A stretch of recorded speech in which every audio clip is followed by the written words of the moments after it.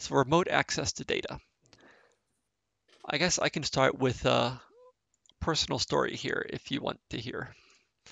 So this was long ago, maybe five years, let's say. Someone was coming to one of our help sessions and needed to use the cluster. And they had a file on their computer they needed to copy. And it was their own computer. So in order to copy it, I had to start explaining, okay, first you need to copy this to the Kosh login server. And then from there, you have to copy it to Triton. And since their laptop was, I guess it was Windows, they needed to use one program to do the first copy and a different program to do the second copy. And basically there were all these different things and it and by the end of that I just was just feeling embarrassed that our system was so difficult to use. So why is that? Well, because copying data around is a big deal and needs to happen often. So luckily now almost everything you see on this page is new since then. So we've done, we made a lot of improvements of the way things uh, can be copied back and forth.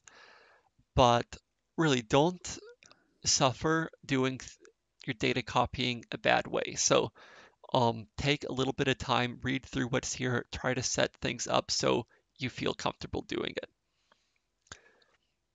Or on the other hand, do everything on the cluster so you don't need to copy things back and forth.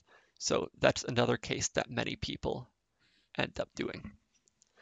Yeah, like I, so, I would give an example. Like I, I previously did something myself and I transferred a lot of data from the cluster to my own laptop to do some plotting. And then I realized that, okay, actually, I don't need the data. I just need the plots. Mm-hmm. So I'm, mm-hmm. I wrote the script so that it can do the plotting without showing the plot in the cluster. And then I just copy the plots or, mm-hmm. or just view the plots. So yeah.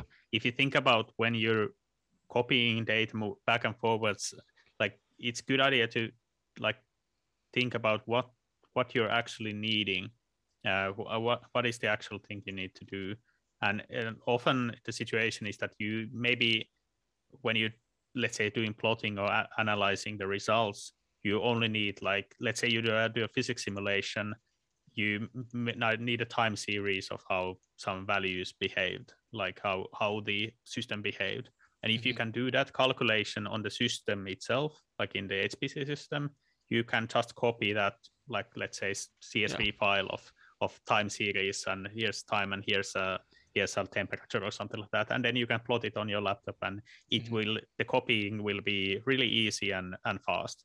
But if you constantly have to copy like hundreds of gigabytes of data to your laptop just to visualize them or something like that you might think that okay maybe this maybe there's a better way. Like mm-hmm. and and having this kind of like uh, a distinction like uh, might help you in the long run. Yeah uh, but there's there's many different copying clients, many different ways of copying. Unfortunately, there's no one good way. Uh, yeah. But maybe here under history and background, I tried to recently categorize categorize things into two styles. One is transferring data, where you make a separate copy of the file somewhere else. So now the same data exists in two places. This is generally efficient for large data, or when you need an actual copy. The other option is remote mounting. And this basically means you make a view of data on another computer. So for example, on my own computer, I can use something called SSHFS or SMB to mount, which is the terms used here, we mount the directory from Triton on my own computer. And then on my own computer, I can cd to the directory, open the files, view it in an image viewer, that kind of stuff, without making a duplicate. And this is great because when I update it on Triton, I automatically see the new version on my own computer. And this saves a lot of time and a lot of frustration. The disadvantage is this is not great for big data because every time you open the file, it has to transfer the whole thing across but when it's small like images, yeah, whatever. Or if it's being modified in both places at the same time, it can end up being corrupt and in some inconsistent state. And you really want to avoid doing that. basically by making sure you're only modifying it on one place at a time and you save it on all other sides before you do that.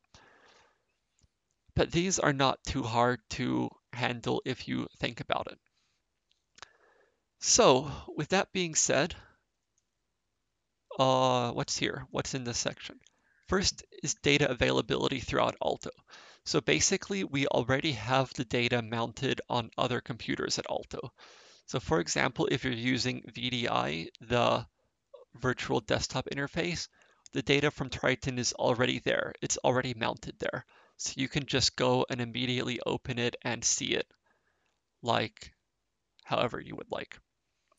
Remember that mounted in this case means that it's the view of the data. The data mm-hmm. is actually in a, in a, in a server in, a, in the Triton Hall.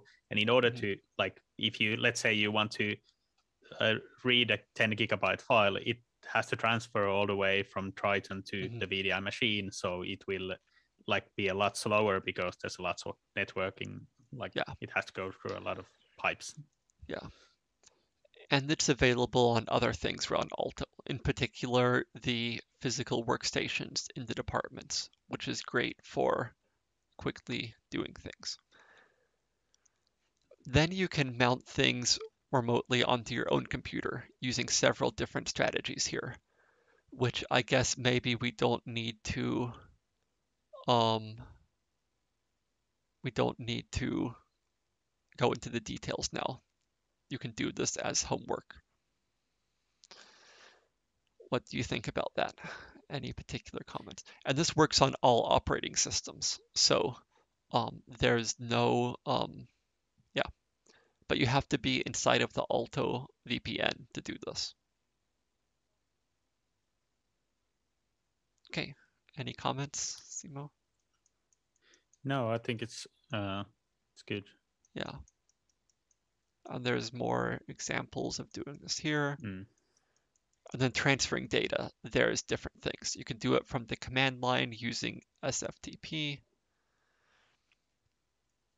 And I I'd also mention uh, oh, maybe awesome. that like like whenever you're it's a good idea probably also to differentiate between let's say code and data like like code is something i personally use git for everything transferring text files like if i if i have something that i code i i make like on my laptop i i develop some code i make a git push to some uh, mm. Git server like mm-hmm. version Aalto FI or GitHub, and then I do a Git pull on the uh, on the Triton side so that the code is in sync.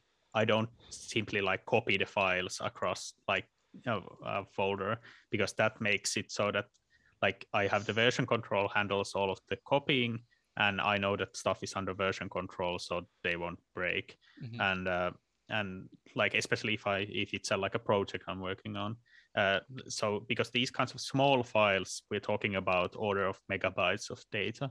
So uh, if for these small files that are very important because they're code, uh, there there's lots of effort, lots of actual thought by you is meant or used to create these files.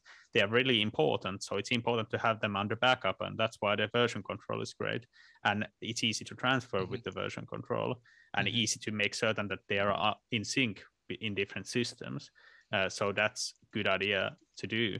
And when we're talking about data, then we talk, let's say, uh, like like results or uh, outputs or inputs of these kinds of simulations. That might be a lot bigger, and that might be harder to uh, keep under version control because it's mm-hmm. it's binary data. So usually, like for this kind of data, I would yeah. prefer using version control instead of like copying because that makes it much e- much easier to to manage. Yeah. Okay, so let's see. And there's different ways to transfer and some exercises if you wanted to try.